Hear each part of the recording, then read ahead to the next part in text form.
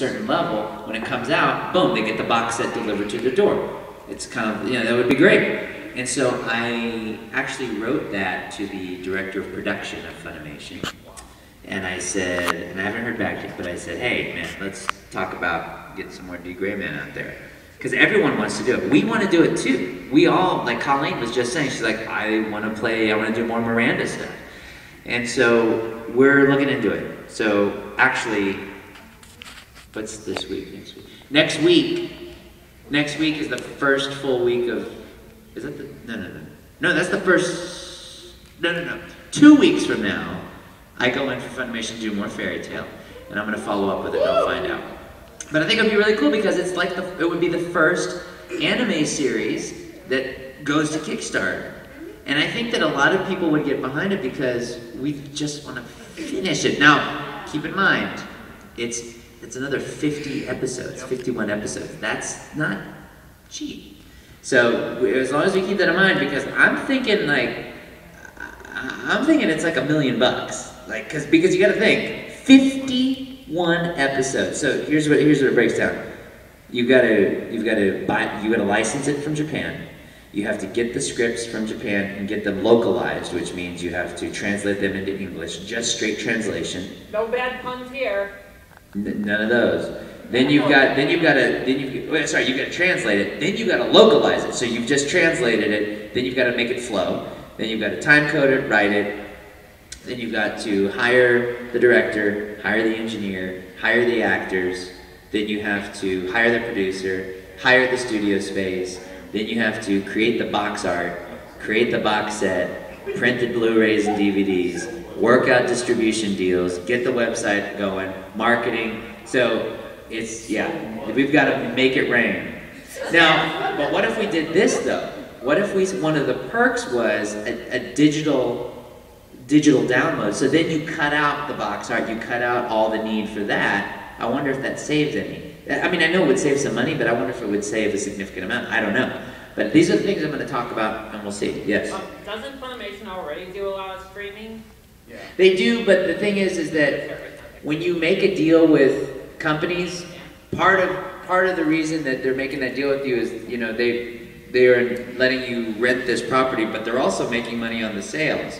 And so if you to them you have you can't cut out half the you know you can't say well we're just going to do digital download because then that cuts out all this physical media that they could be selling at, at cons and booths and people want to get it signed and stuff. So I don't know if they would go for that, but I don't know because the property is just sitting there. It's already done on their end, so they're just holding on to it. So I don't know if it would be something. Maybe we need a safety engineer to get a safe plan together that we can present to them. I don't know, but um, yeah, I think yeah, we need to. We need to. Thank you, thank you. So, um, so I'll talk to him and see what happens. I don't know. I would love it. I would love to do that. And if it works, maybe we see what what else I can do. I don't know because if you look at things like, uh, you know, they're like the Veronica Mars movie or whatever raised a ton of money to make their movie. It got made. It played in theaters. People went saw, you know went to see it and everything like that. It was very successful. Um, you know, there's a lot of projects on Kickstarter that that, that make it rain. Like the Pebble Watch. The Pebble Watch is like, oh, we need hundred thousand dollars. They got like ten million dollars. I mean, it can happen. It can totally happen if people want it enough. But I just think that going to these conventions and and and every single time people are asking about D Gray Man, I, I wonder if if people would. So I'll find out. I don't know. Uh, what other shows? Hetalia. Hetalia. We season five is coming out in June, I think. June. Ouran, It's over. it's done. Well, actually, I do have a question regarding that. I do know that there was a brief live action Ouran that was made. That's Is there true. any chance of that ever being licensed over here and dubbed? No. No, why They make Superman ice cream. I mean, it's possible. Uh, I don't know. Not. Um, Oh, well, I tried. the uh, so Attack on Titan. Then there's, I guess that's like the biggest. I don't know, Kill la Kill. Woo! All right, Free. free. Oh lord, that's just been. Are you doing so- Soul Eater or not? More Soul Eater. Soul Eater not? Soul Eater. More of that would be good. More Ghost Hunt, Ghost Hunt. That would be good. Yeah, Can I ask you a question? please. So, uh, J. Michael Tatum said that after he was recording Ghost Hunt, he thought that Funimation was haunted. Did you share the same experience? Do you think Funimation's haunted? Are you sure Funimation's awesome? Funimation is not haunted. However, I have could this- experienced ghosty things on film sets and stuff. Oh. I was, uh, when I shot the movie Scream of the Banshee in uh, Baton Rouge, so we shot at a house that was built during the Civil War. And it still had, you know, slave quarters up and all that stuff. I mean, this is an old, old, old plantation house. I mean, we were shooting in there. And there, when you, when you uh, go in the house, so you, when you go up the stairs, so you go up the stairs, you know, it's one of those stairs that goes, it goes up, turn, up, turn, up, like that. So when you go up on this first landing, there's a huge old portrait of the first family that lived there. And so Lauren Holly was in, who was in this movie, she was in um, NCIS and Dumb and Dumber, she was the red-headed woman. Uh, she's in it, and she, she is very mystical, see, like very superstitious. And so she's taking pictures of things in the house on her cell phone. And so she takes a picture of that portrait. And then she looks at her phone and she's like, wait a minute, what is that? And in her phone, she sees on the portrait, so you've got the family, you know, family, family, you know, mom, dad, dog, blah, blah, blah, blah, blah. And then it's around it is just like blackness, just shading or whatever. In the phone, there is a row of Confederate soldiers like this, like like uh, telescoping back, so like they're kind of staggered. It's not in the it's not in the portrait at all, and but it's only in her phone. She tried to send the picture to, to her husband and things like that. It's not in that one.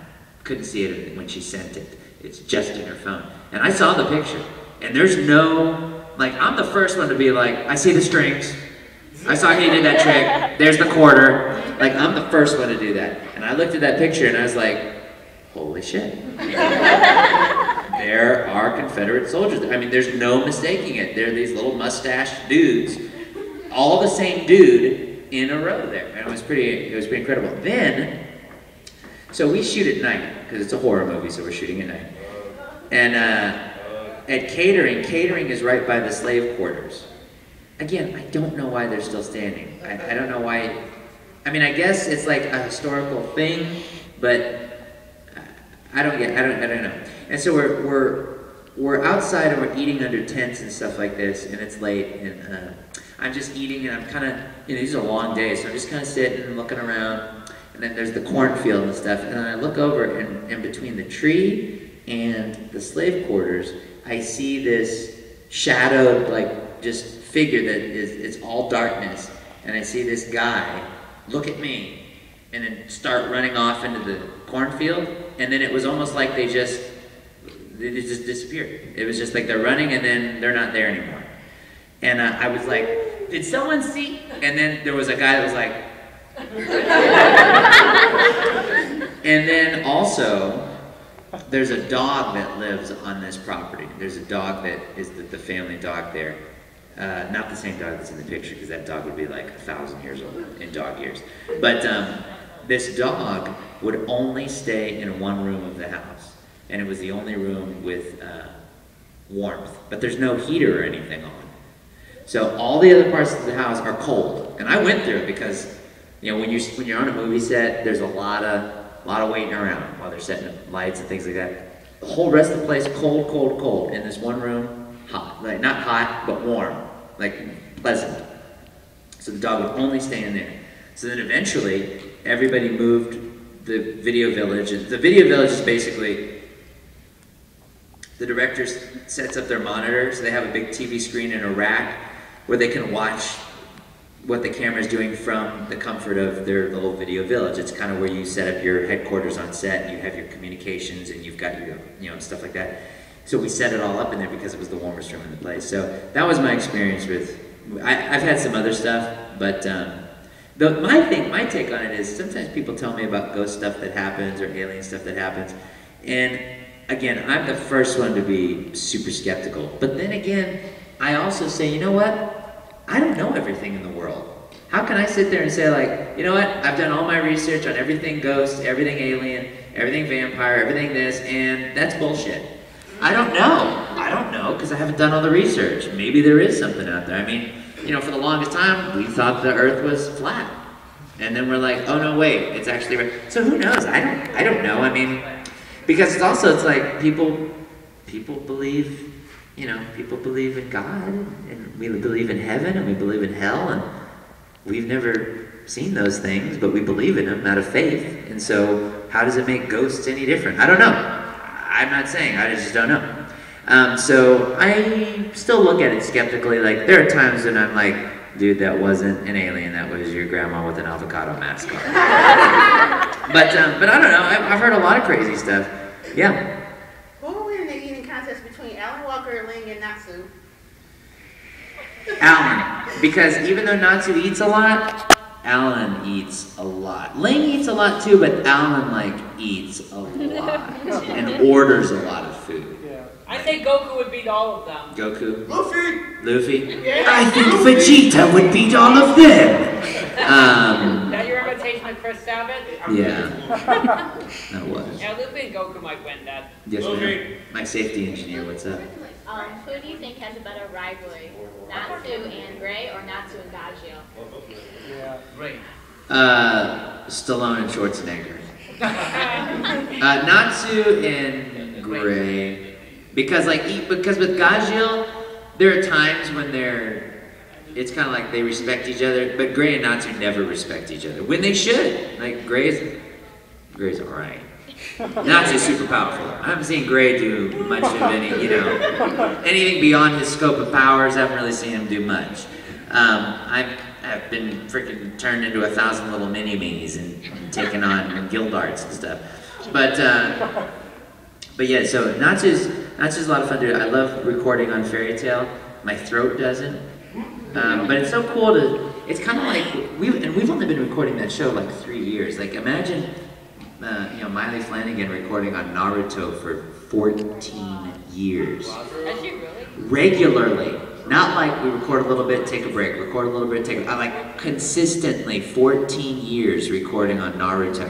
And then Johnny with Ichigo recording on Bleach for nine years, nine or ten years. That's that's amazing. Like at least with Dragon Ball, with Goku, they record a chunk, then they don't. You know, then they record a lot, then they don't. And so, but even Sean Schemmel's been doing Goku for like, you know, 14 years. In fact, And now we have Kai. let's see. Well, no, they just- Let's let me call. Should we call Sean? Yes! Yeah. Woo! Do it. Oh, actually, yeah, I'm gonna do that. You to tell them about the new Buu Saga coming out. Tell him about the what? The Buu Saga. They just started it in Japan. Oh, he knows. Yeah. He's Goku. Goku knows everything. Except Okay. that'll be Here we go. I'm gonna call him. Here we go. I'm gonna put it on. He'll he'll hear us. Figure it out. Figure it out.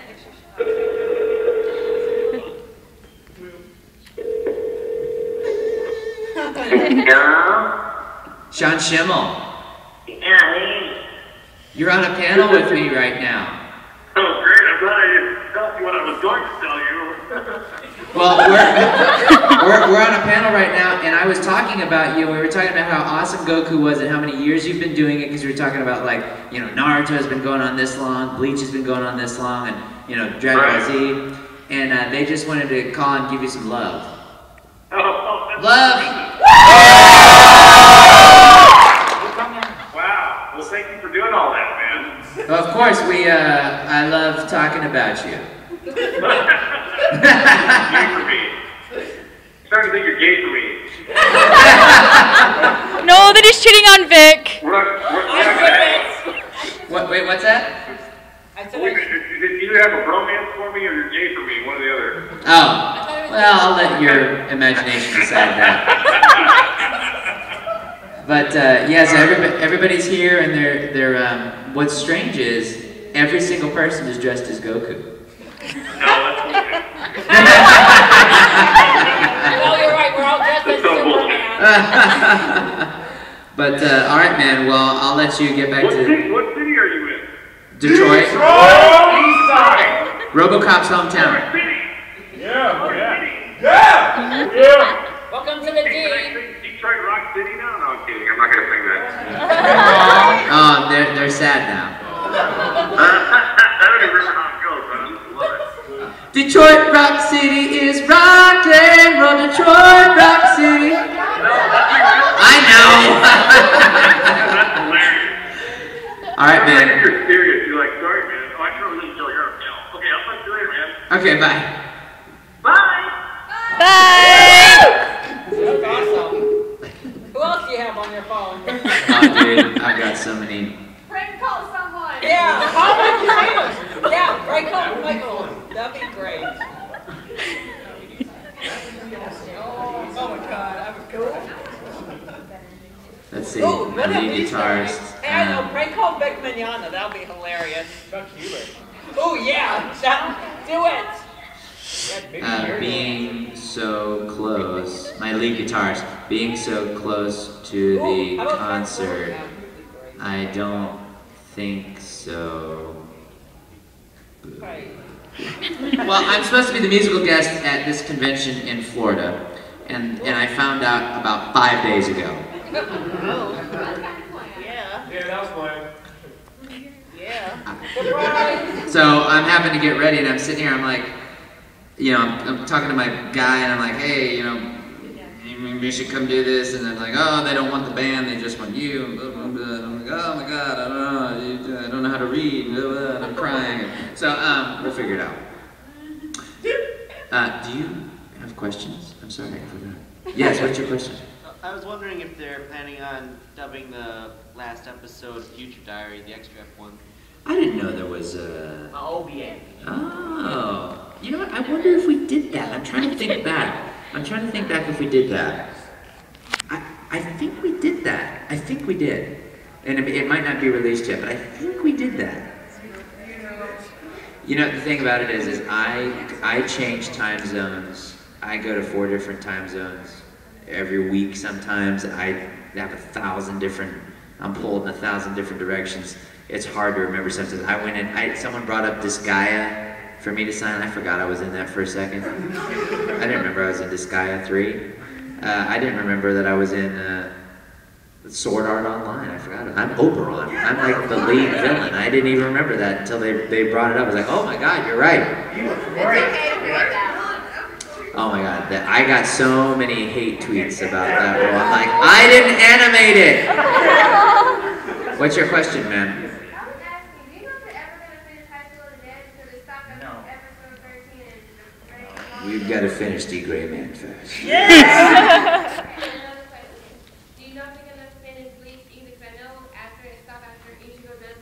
I know his little sister takes over as well. Uh, Yeah, major spoilers. no, yeah, we're, we're, we're finishing Bleach. Yeah, and then it's, then it's done then. Yeah, the anime ends short. Sorry for the spoiler, you know that. Ain't no spoiler though, it is. Yes. Last time when we saw you here at Youmacon, you talked about how Nick Cage was one of your favorite acting idols. And, uh, Oh. Oh yeah, I'll tell you why. I'll explain that for people that didn't know. This is why Nick Cage is like one of my favorites because he just doesn't give a shit. Like he just he is balls to the wall with his choices, and they are the oddest choice. It's courageous. Like when he makes some of these choices, you're like, Nick, that was horrible, but man, no one else would have thought of that. You know what I mean? It's like like when he's Face, have you guys seen Face Off? Yeah. You remember at the beginning when he's like the priest or whatever? That's like, who who makes those kind of acting choices? Nick Cage does. Like when he's when he's sitting there and he's like in the mirror and he's like, I'm not me, I'm me. Like and he's doing all that. It's like, who's who are you? And then when he's in Ghost Ghost Rider, he's like, ah, ah. And then he like turns into the Ghost Rider or whatever. Like, and, and then also, my favorite, now, someone that was, and I said this in my, my university class one time, um, one of my inspirations for, uh, for, because I have a, I come from an immigrant family, was Schwarzenegger.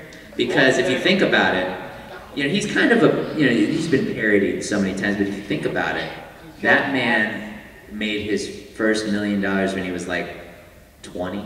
Like he, he, he, he was in real estate when he was a kid. He got into real estate. He had a weight, uh, uh, weightlifting like protein powder business that he did. Like he began working out. He's like, I think I'll go be this little kid from a village in Austria. I think I'll go be Mr. Olympia. He did that like four times. Then he was Mr. Universe like seven times. And then he was like, I'm gonna go be a movie star in a foreign country and I don't even speak the language. He went over to America, became one of the biggest grossing movie stars of all time, married a Kennedy, became governor of California, regardless of what he did with it. He still achieved every goal he sets out. He nails it. I mean, he did it. And it's incredible to me watching, you know, that happen because if you think about it, Stallone has more, they did a, a chart comparison. Stallone has more franchises than, than Schwarzenegger, but Schwarzenegger, pound for pound, makes more money per movie. He's a bigger star than, than Stallone, it's always been that way. And it's, you know, even with the, uh, now with the Expendables series, I mean, that's a little different because, you know, Schwarzenegger went off and did government for a while. But, um, but yeah, Schwarzenegger was the man, and they, they made fun of me in class, and I'm like, you make fun, but who in here has is has a net worth of four hundred million dollars? Because I don't. Schwarzenegger does. So it's it's one of those things where it's like, you know what? I want to hate on him, but I don't think I can. So it's pretty impressive. Ash. Okay, out of curiosity, who do you think is better with magic, Natsu or Harry Potter? Oh, Natsu. Because if you think about it, look, Harry, half the time, doesn't seem like he knows what spell he wants to use. Use the one constantly. Thank you, Patronus. And then, uh, and then also, he doesn't know that many spells. Now I know I've got some signature fire dragon things I do, but but I'm I'm trying new ways to get the fire. I'm I'm just trying to take your lightning over here, Laxus. I'm gonna eat some blue fire over here. I'm gonna try this over here. I'm gonna eat that. You know, all these different. I take on bigger, badder villains than Harry. Harry takes on what, Voldemort. Great. The guy has no nose. He, he can't get proper airflow circulation. How is he going to get proper fighting circulation? And, uh, you know, Natsu's been to hell and back. I mean, remember that time he got, he was put into that void by the girl who eats the little hot dog lollipops or whatever? And then, he- like some little like flute lollipop. She's the one that plays the organ and she, she runs that big mechanical dragon or whatever.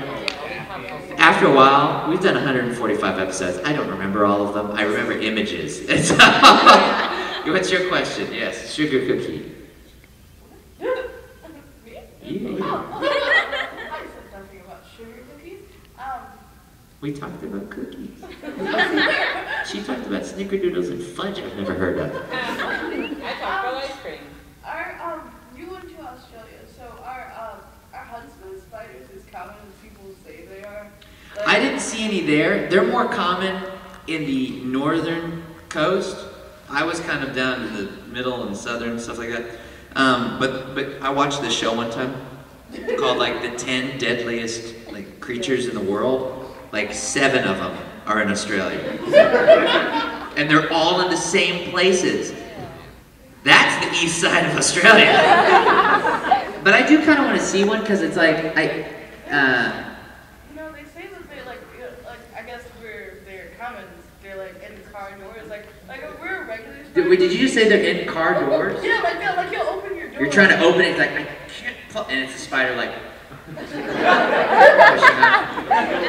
like, Yeah. you know how like if you're driving and then like you see like a bug inside your car in the window, they do that, but they're like this big. It's- what?